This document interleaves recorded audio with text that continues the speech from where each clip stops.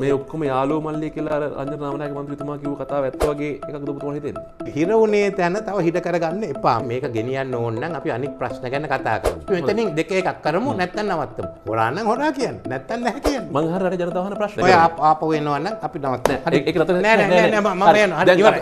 අපි වර්තමාන නෑ, නෑ, කතා කතාව මට ඔය මේ ටික දාන්න මට කමන්නේ. මං කීප වතාවක් ඔයා ඉගෙනගෙන ඉන්න කොහොමද කරන්නේ? මට මට මේ ගෙනියන්න. ඔයා වෙන දවසක් එන්න. හිත හදාගෙන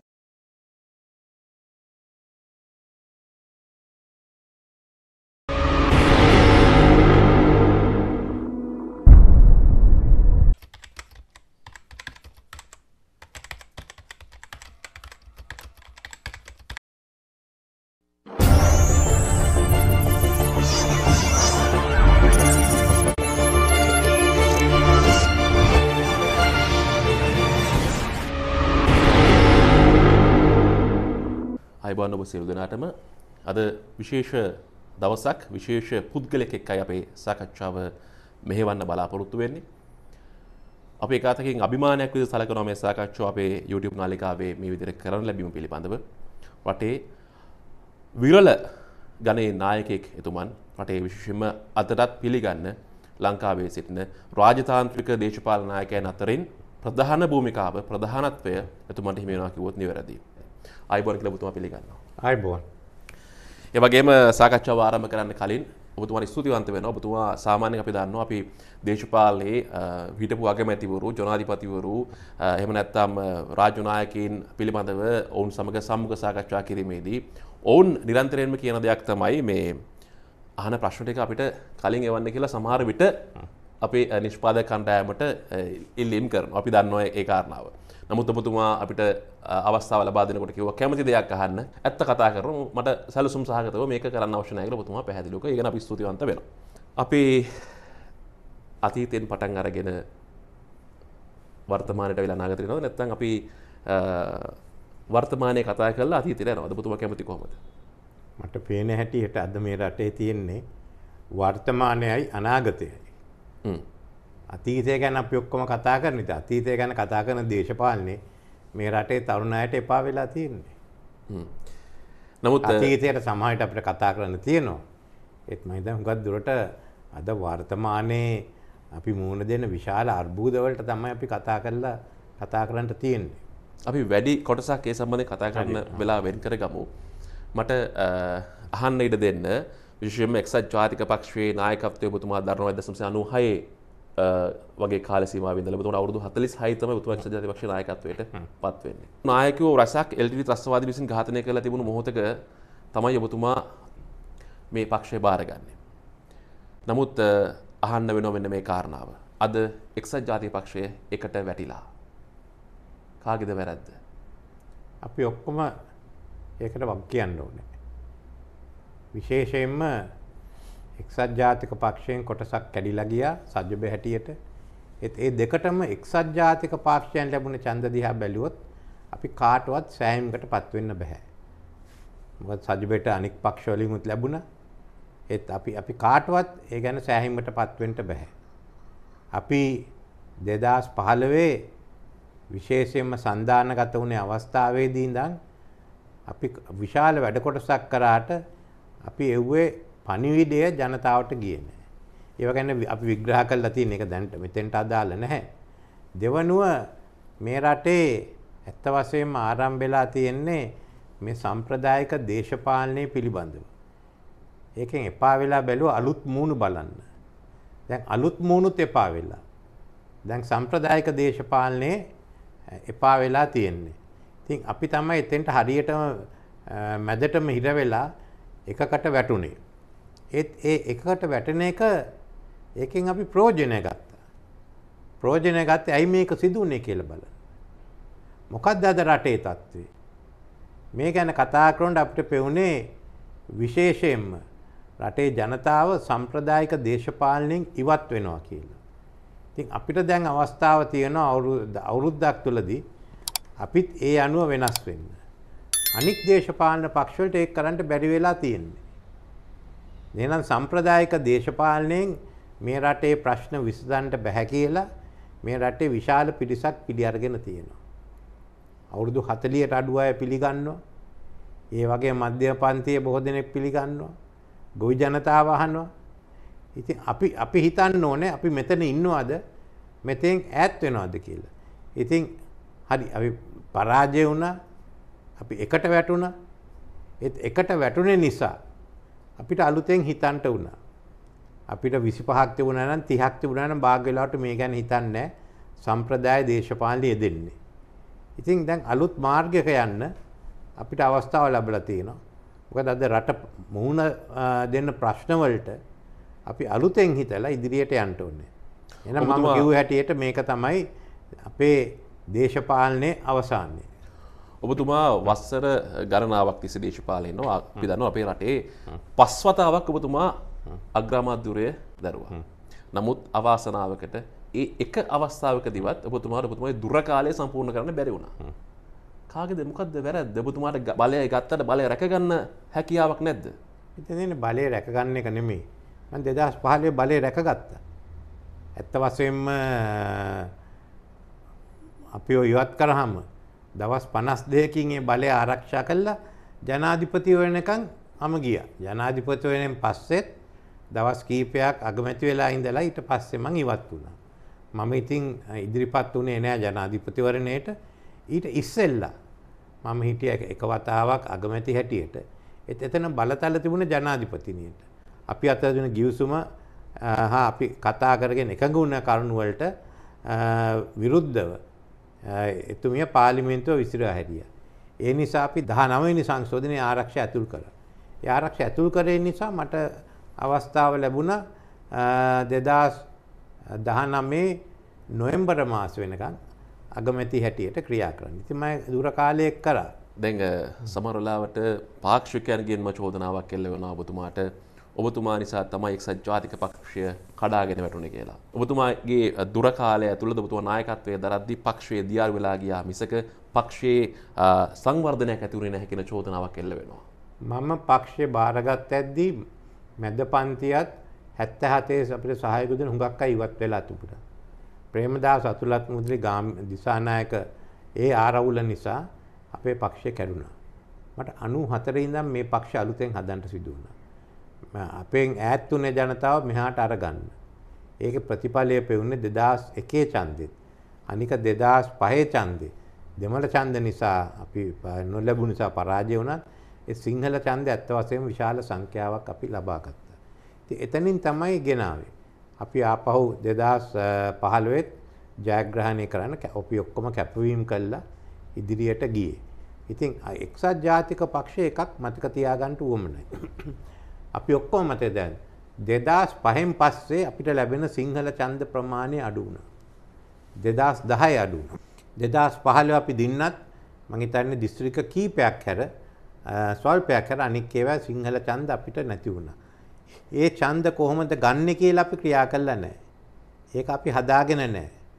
විශේෂයෙන්ම එක්සත් ජාතික පක්ෂ 47 ඉඳන් ජයග්‍රහණය කරේ සිංහල ඡන්ද බහුතරයක් අරගෙන. එහෙනම් 2019 යනකොට ඒක තිබුණ නැහැ. ඒක අපේ ඒක අපි මතක තියාගන්න ඕනේ. ඒක ඒ නිසා එතන ඉඳන් එන එක්සත් ජාතික පක්ෂ අද අපි බලන්නේ විශේෂයෙන්ම අපි කොහොමද ඒ සිංහල පදනම ඇති කළා අපේ ශ්‍රී ලංකා අනන්‍යතාවය අනුව දෙමළ මුස්ලිම් අයත් ඉදිරියට ගෙනියන්නේ. ඔබතුමාට හිතෙන්නේ නැද දැන් 2000 අපි දන්නවා 2005න් පස්සේ 2010 2015 2019 මේ වසර තුන සඳහා විශේෂම අපි දන්නවා දෙදස් දහ නමය ඇරුණුකොට ඉතුරු ම කතාකරු දස් දහයසා දෙදස් පහල වසර දෙක සඳහාම එක්සත් ජාතිපක්ෂ බැරුව ජනාධිපති අපේක්ෂය ඉදිරිපත් කරගන්න. දෙදස් පහලවේද අපිට දිනන්න අවස්ථාව තිබුණා. ඒත් අපි එකතුව යන නිසා අනික් පක්ෂ ගණනාවක් කිව්වා එක්සත් ජාතික පක්ෂය අපේක්ෂය ගන්ට බැහැ කියලා. ඒ නිසා තමයි අපි ගිහින් ඔය මෛත්‍රපාල සිරිසෙන මැත්තුමා තෝරගත්. ඇයි එන හරි එතුමාට තියෙන චන්දලින් ආවනම් දිනන්න නෑනේ අපේ චන්දවලින් දිනව අපි ගෙනාවේ චන්දයි ඊට අමතරව අර සුළු පක්ෂ ගෙනාවේ චන්ද. ඒකයි අපි තනීම ගියානම් හරි මේක දිනන්න තිබුණා. පොදු වේදිකාවකට එනකොට එක්සත් ජාතිපක්ෂයේ නායකත්වය පිළිගන්න තැනකට ඇයි රට පත් කරන්න බැරි වුණේ ඔබතුමාට? මම මන් නෙමෙයිනේ. ජනතා විමුක්ති පෙරමුණ කොහොමද UMP එක්ක එන්නේ නැහැ. ඒක ඒක යථාර්ථය ඒකනේ. ඒක 2015 ජනාධිපතිවරු හිටියේ නැහැ එතන. ජනාධිපතිතුම සහයෝගය දුන්න වේදිකාවේ නොහිටියට සම්පූර්ණ සහයෝගය දෙන්න වෙනම රැස්වීම් පැවැත්වුවා. අපි ඔක්කොම එකට හිටියේ එතන. TN එක හිටියා. TN එකත් එක රැස්වීමක විතරයි හිටියේ මේ මෛත්‍රීපාල සිරිසේන මහත්තුමා එක්ක. ඒගොල්ලෝ වෙනම කරා. ඉතුරු වැඩ කටයුතු අපි කළා දුන්නා. ඉතින් මේ මේ අනුව ගියා නම් එතනින් විශේෂයෙන්ම TN එකයි JVPයි සිවිල් සමාජයයි සෝබිත හාමුදුරුවෝ කිව්වා වෙනම කට්ටිය උමනයි කියලා. ඒත් මට මට අපිට තේරුණ හැටියට එක්සත් ජාතික පක්ෂය එකට ගියා නම් හරි අපිට දිනන්ට තිබුණා. වගේට අපි ගන්න තිබුණේ ජයග්‍රහණයේ ප්‍රමාණය මීට වඩා වැඩි ඡන්ද සංඛ්‍යාව අඩු වෙන්න තිබුණා. ඒත් අපිට පෙවුණ හැටි කොහොමද දැන් මෙතන තිබුණේ ප්‍රධාන ප්‍රශ්න දෙකක්. එකක් අපි ඔක්කොම විරුද්ධ වුණා ජනාධිපතිතුමාට තුන්වෙනි වාරේ දෙන එක. දෙවනුව අපි ආපහු 18 ඉවත් ව්‍යවස්ථා සංශෝධන ඉවත් කරන එක. ඉතින් එවලේ අපි වෙන් වෙලා ගිය එකෙන් අපි සියලු දෙනාගේම පරමාර්ථ වලට හානි වෙනවා. ඊළඟට කොහොමද 19 වෙනි සංශෝධනයෙන් විශාල බලතල අගමැතිතුමාට හම්බුණා. කැබිනට් මණ්ඩලයේ නම් කරේ අගමැතිවරයා. ඒ වැඩ කටයුතු කරේ.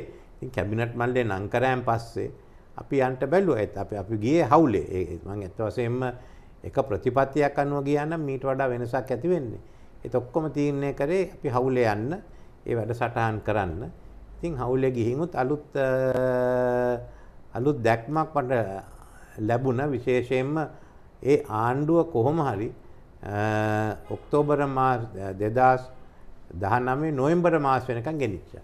මේ රටේ කාරණ වෙනස් වෙනවා. සමහරු කියන්න පුළුවන් මං නිසා නැති වුණා. සමහරු කිව්වේ නෑ කියලා. ඒත් එදා අගමැතිගේ බලය බලතල දිහා බැලුවා නම් අගමැතිගේ බලතලට විශාල බලයක් තිබුණා. ඔබතුමාට හිතෙන්නේ නැද්ද? එක්සත් ජාතික පක්ෂය කියලා කියන්නේ සියලු ජාති නියෝජනය කරපු දේශපාලන බලවේගය ලංකාවේ තිබුණු තනි පක්ෂයක් විතර ප්‍රබලම බලවේගය. දෙමළ මුස්ලිම් නියෝජනය ඔබතුමාගේ කාලේ පක්ෂ නැත් වෙලා ගියා. ඒවා වෙන වෙන කඳුරුවල ගොනු වුණා. ඊට පස්සේ ඔබතුමාලා ගිහිල්ලා ඒවත් එක්ක එකතු වෙලා සන්දානගත වුණා මිසක පක්ෂයේ තිබුණු මුස්ලිම් නායකත්වය දෙමළ නායකත්වය වර්ධනය කරගන්න ඔබතුමාලා බැරි වුණා කියලා හිතෙන්නේ නැද්ද? අපේ උතුරේ නායකත්වය කොහොමත් නැති වුණා 56න් පස්සේ අපිට උතුරේ නායකත්වයක් ලැබුණේ නැහැ. මම මහේස්වරන් මෑතුමා ඉදිරිපත් කරනකම් ඒක ආරම්භයක්. විශේෂයෙන්ම. දෙවනුව අපි හැම වෙලේම කඳු කරේ ගියේ එකට. CWC නැත්තම් වෙනත් ද්‍රවිඩ සන්ධානයක් එක්ක. අපිට තිබුණ මුස්ලිම් ඡන්ද කොටසක් අඩු වුණා ඇෂ්රෆ් මහතුමා පැමිණියන් පස්සේ. ඒත් මුස්ලිම් කොංග්‍රසයට තනියම දිනන්න බෑ. එයාට ඔය ශ්‍රී ලංකා නිදහස් පක්ෂය නැත්තම් පොදු පෙරමුණේ එකේ තියෙන සිංහල ඡන්ද අරන් දිනන්න ඕනේ. නැත්තම් අපිට තියෙන මුස්ලිම් ඡන්දයි සිංහල ඡන්දයි අරගෙන දිනන්න ඕනේ. ඉතින් ඒ නිසා ඒ තත්ත්වය දුන්නේ රටේ දේශපාලනය වෙනස් වෙනකොට මම මං එනකොට ඇෂ්රෆ් මහත්මයා ඇවිල්ලා ඉවරයි. ඒ ටිකත් ඉවරයි. උතුරේ තිබුණේවත් පළවෙනි වතාවට උතුරේ දින්න අනික අපිට විශාල සංඛ්‍යාවක් තියෙනවා. මුස්ලිම් ඡන්ද දැන් වෙලා තියෙන්නේ මුස්ලිම් ජනතාවටම මුස්ලිම් දේශපාලන පක්ෂ ප්‍රතික්ෂේප කරනවා.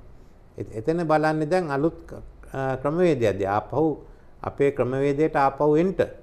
ඉතින් හැම වෙලේම එක ඡන්ද පදනමක් තියෙන්නේ නැහනේ. 47 ඡන්ද පදනම 52 එක නෙවෙයි 56 තිබුණේ. ඊට වඩා වෙනසක් 77 තිබුණා.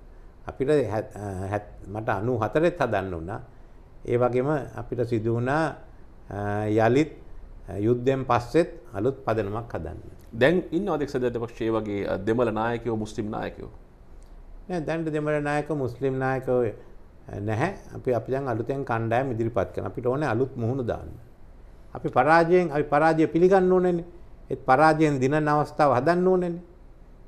එක තැන හිර වෙලා වැඩක් නැහනේ. දැන් අලුත් මූණ වෙන අලුත් අදහස් තියෙනවා. ඒක කරන්න පුළුවන්. ඔබතුමා කොළඹ විශ්වවිද්‍යාලයේ උපාධිධාරියෙක්. ලංකාවේ දේශපාලනය කතා කරු රටේ අගමැතිවරු ජනාධිපතිවරු අතරේ ඔබතුමා තමයි දේශීය විශ්වවිද්‍යාලයක උපාධියක් තියෙන නීති උපාධියක් තියෙන ප්‍රාමාණික විද්‍යුතික කියලා අපි හඳුනගන්නේ. බෞද්ධ පොත්පත් ඔබතුමාගේ අතින් ලියවුණා. එහෙම කෙනෙක් කොහොමද නිකන් ඇමරිකානු ඒජන්තයෙක් ඇමරිකානු විත්තෙක් ගැත්තෙක් කියලා දේශපාල වේදිකාවල හංවඩු ගහන්නේ.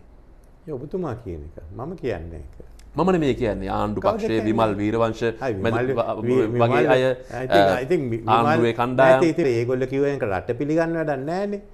අපි ආපහු යන්න වැඩක් නැහැනේ මානවම රජුගේ කතාවට.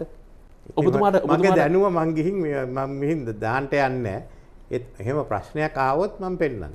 සමාල්ලට චෝදනා වෙන්නේ නායකතුමනි ඔබතුමාට චෝදනාවක් විදිහට එල්ල වෙන්නේ ඔබතුමාට මේ ඇමරිකානු ටයිකෝට් අදින සුදු ඉංග්‍රීසි කතා කරන පුද්ගලයෙක් කියලා ඔබතුමා හංවඩු ගැහුවාම ඔබතුමාට උත්තර දුන්නේ නැහැ කියන කාරණා. ඔය වේදිකාව කියන හැම එකට මම පිළිතුරු දෙන්නේ නැහැ. රටේ මුගක් දෙන්නේ ටයි කෝට් ඇඳගෙන ඉන්නේ.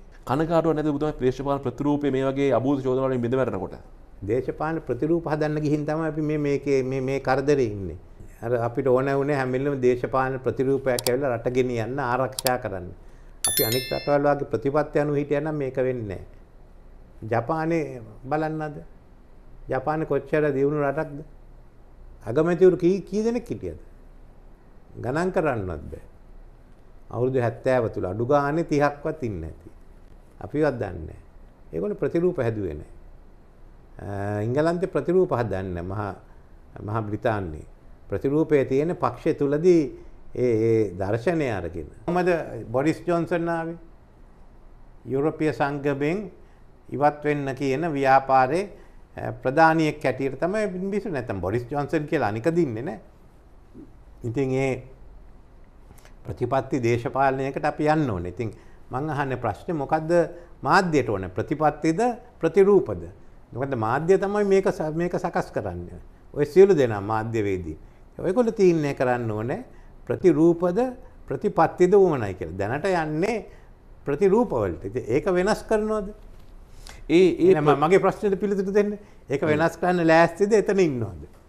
ඒ වෙනස් කිරීම සඳහා අවශ්‍ය දරතාව දැනුවත් කිරීම වැඩ පිළිවෙල තමයි අපි මේ කරමින් යන්නේ.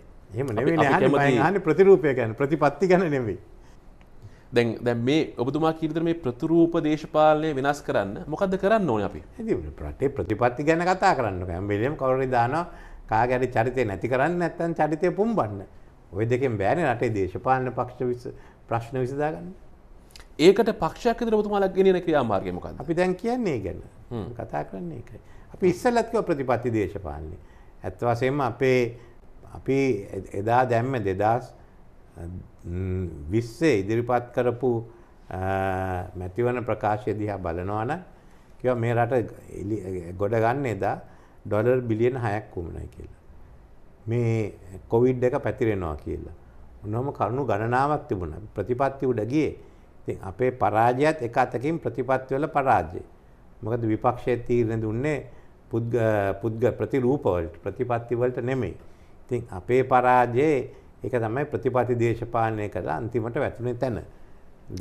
එතනින් අපේ ප්‍රතිපත්ති ප්‍ර- පරාජය රටේ පරාජය බවටත් පත් වුණා. අර මේ වෙඩින් එකකට ගිහිල්ලා එන්නම් කියලා කිව්ව ඔබතුමා යාළුවා ආවේ නැහැ තාම. හා? අර ඔබතුමා කිව්වේ ගෙන්නලා දෙනවා වෙඩින් එකකට ගියා මං කොහොම හරි ගෙන්නලා දෙනවා කියලා. ඔබතුමාගේ යාළුවෙක් අර්ජුන මහේන්ද්‍රන් කියලා. කොයි එකද වෙඩින් නෑ එයා වෙඩින් එකට ගියා. ඉතින් එයාගෙන් අහන්න එන්නේ මොකක්ද අර්ජුන මහෙන්ද්‍රන් කරලා තියෙන්නේ? ඇයි මගෙන් මේ ප්‍රශ්නේ අහන්නේ? මම මේ කාරණා නෑ නෑ, අහන්නේ ඔයාගෙන් දැන් මොකක්ද මේ නඩුවේ උනේ? මොක- මහා බැංකු මොකද- මහා බැංකු බැදුම් කර සිද්ධිය ආණ්ඩුව කිව්- මොකද? දැන් අද වර්තමාන ආණ්ඩුව කිව්ව විදිහට එදා විපක්ෂ කිව්ව විදිහට මහා දවල් මහා බැංකුව මංකොල්ල කන්න ඔබතුමා අර්ජුන් මහේන්ද්‍රන්ව පත් කරනවා මහා බැංකුව අධිපති ධුරයට. හරි දැන් උසාවිය කියනවා නම් මේ සල්ලි ඇති ආණ්ඩුවට නෙමෙයි කියලා මොකද්ද හොරකම? ඉතින් උසාවියෙන් අහන්නේ. මාව කොහොමත් මේකට සම්බන්ධ නෑ කියලා කොමිසම කිව්වා. මං සම්බන්ධ නෑ කියලා. දැන් ඉතින් තියෙන නඩු දාන එක. නඩු දාන එකෙත් කියලා තියෙනවා මේ ඇත්ත වශයෙන්ම මේක රජයේ මුදල් නෙමෙයි කියලා. දැන් රජය කියන්න ඕනේ ඊට විරුද්ධව ඇපල් ගන්නවද ශ්‍රේෂ්ඨ අධිකරණ නැද්ද කියලා.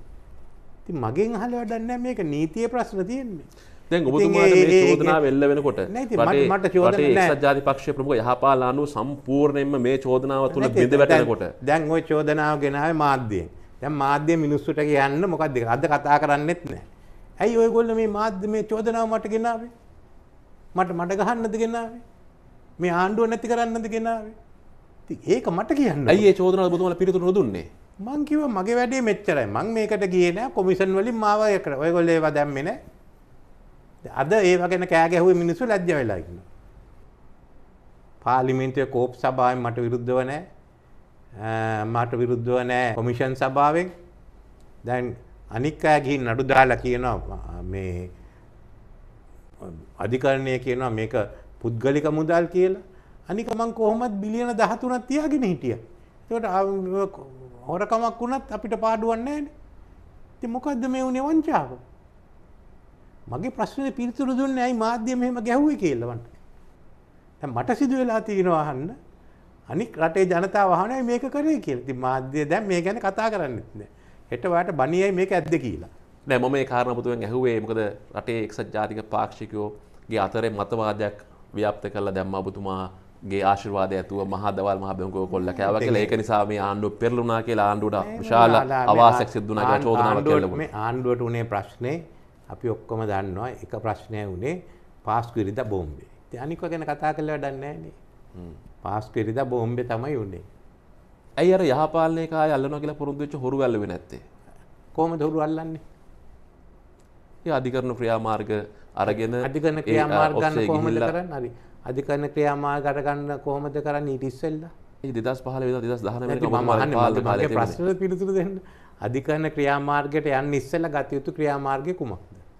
දැන් ඒ කාරණා ඔබතුමාලේ කියනවා අපිට අධිකරණට යන්න ඉස්සෙල්ලා පොලිසිය නැත්තම් අල්ලස් කොමිසම ඒවා විභාග කළා ඒවා විභාග කළා ඊට පස්සේ නීතිපතිට ගිහින් නීතිපති නඩු දාන්න කිව්වොත් තමයි නඩු දාන්නේ.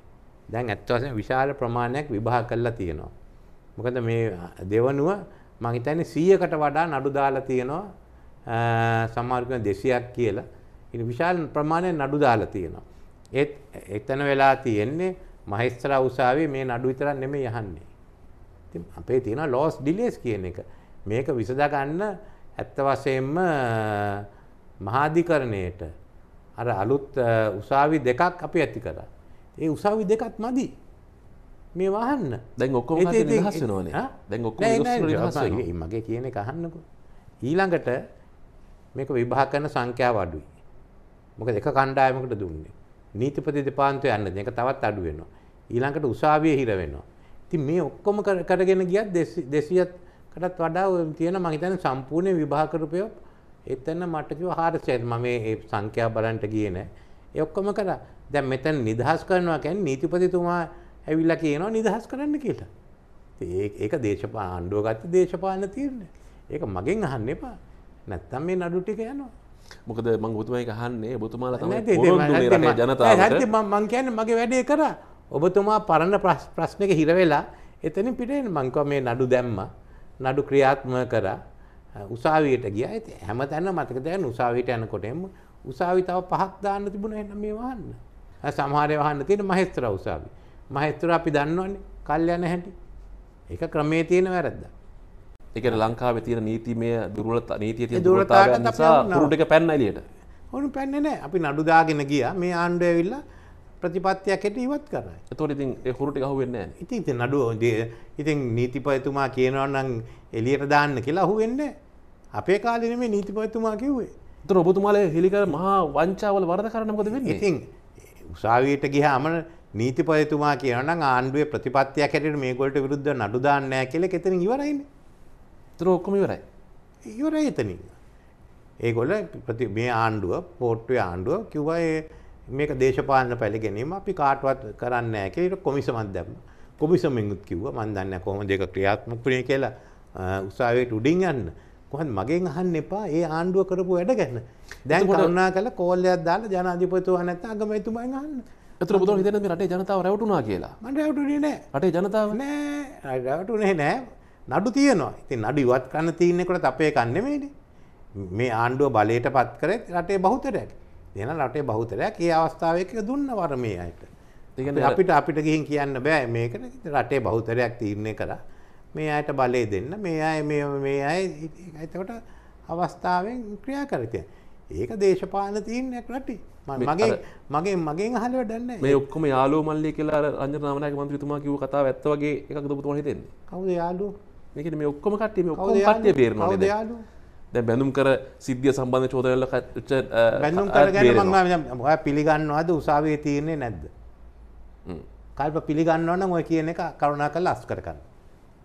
එතකොට නෑ මං කියන්නේ ඒක මම පිළිගන්නවා. අපි අධිකරණ අධිකරණ ක්‍රියාමාර්ග පිළිගන්න රංජන් රාමනායක ගම් මෙතන කියන්නේ මට කිව්වේ ඒක වැඩක් නෑ දැන් හරි. එතකොට? දැන් මං කියන්නේ ඔයා කියනවා නම් මට කරුණාකරලා කියන්න.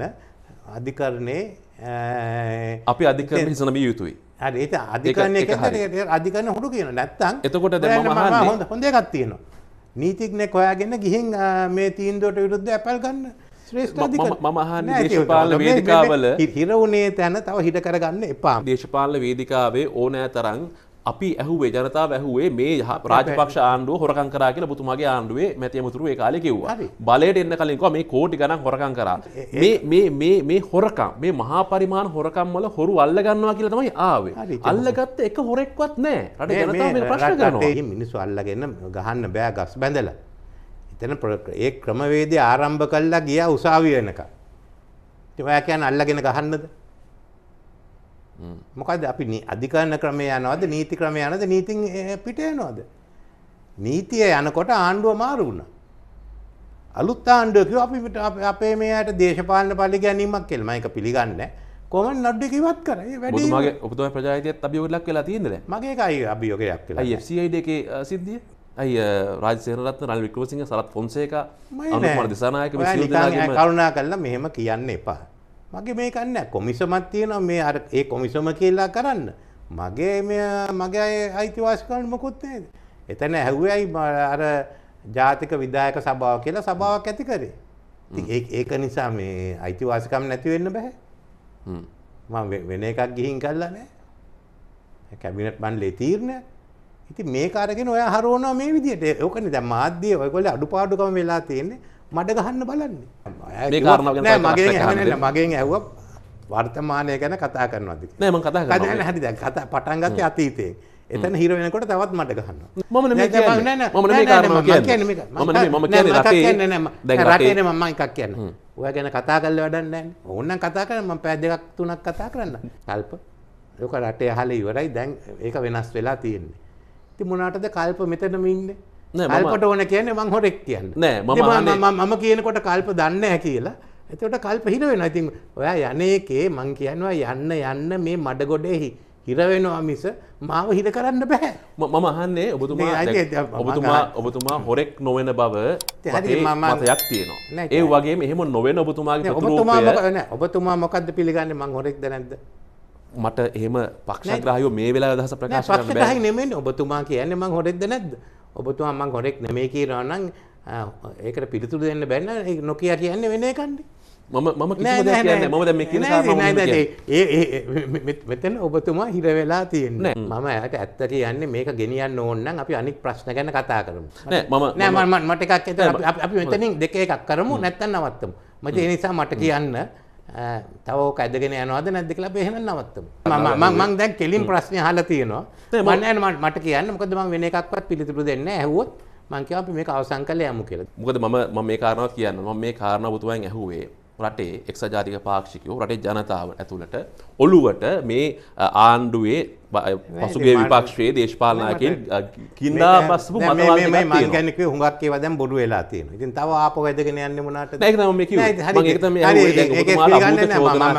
නෑ, මම කියන්නේ ඔයා ගැන ඔය අලුත් එකක් නෙමෙයි. මම කිව්ව එක පිළි අරගන්න මෙතන ඉඳලා වැඩක් නැහැ. හ්ම්. මං හොරෙක් නෙමෙයි කියලා පිළිගන්නේ නැත්තම් මම මෙතන ඉඳලා වැඩක් ඒකට මම පිට වෙලා යන්න ඕනේ. මේ ඉන්ටර්විව් එකේ. ඔබතුමා කියන්නේ මං හොරෙක්ද නැද්ද කියලා. මට ඔබතුමාට හොරෙක් කියලා කියන්න බෑ. අදන් යන්නේ? මං අහන රටේ ජනතාව අහන ප්‍රශ්න. රටේ දැන් අහන්නේ නෑ මේක දැන්. රටේ ජනතාව ඔබතුමා- මේ- ගමට ගිහිල්ලා ඇහුවොත් මේ- මේ මේ කාරණාට මම- දැන් දැන් ජනතාව තේරුම් ගන්න තියෙන කතාව ඇත්ත වෙන- මං කියන්නේ මේක ඇදගෙන යන්න වැඩක් නැහැනේ. රටේ ජනතාව එක පිළිගන්නේ අද. මේ ඕන නැත දැනක නෙවෙයි මේ පෑ භාගයක් නාස්ති තියෙන්නේ. හරි. මොකද දැන් සමහරලාවට පක්ෂයේ දැන් විමල් සිද්ධිය ගැන කතාව කරද්දී- විමල් විරවංශ ගැන වෙන අහන්න. ඒ මොකද අර පාස්පෝර්ට් එක උනත් ඔබතුමා තමයි එතන නෑ, බේරගත්තේ ඉතින් කියලා. ඔය- ඔය- ඔය ගැන කතා කරන්න වැඩක් නැහැ. මම පාස් එතුමා යනකොට මේවා කරා. එතුමා පාස්පෝර්ට් එක කතානායකතුමයි විපක්ෂ නායකව ඉඩ දෙන්න කියලා මන්ත්‍රීවරයෙක්ට යන්න ඉඩ දෙනවනේ. ඔයා කියන්නේ හැම එකම හො- හොරකම් කරන්න කියලා. එහෙම ප්‍රක්‍රියා මම නෑ. ඒක UNPI කියන්නේ ඔය සමහර සිවිල් සමාජය කෑ ගහන්නේ. හ්ම්. ඒකේ ලොක්ක පැනලා ගියා ඕස්ට්‍රේලියාවට. ඒ ඒවට මමයි පිළිතුරු දෙන්නේ. ඔබතුමා කෙලින්ම ඕන කප උත්තර දෙනවා කියලා. ඒකනේ ස්තුතිවන්ත වෙනවා. දැන් අපි ඔය හොරකම ගැන නායකතුමනි කතා කළේ මොකද ජනතාව මේ ගැන අහපු නිසා. අපි ආපහු එනවා නම් අපි නවත්ත. ඒක නතර නෑ නෑ මම. යනවා. අපි අපි වර්තමාන දේශපාලන කතා කරමු. ඉවරයි, කල්පනා. අපි-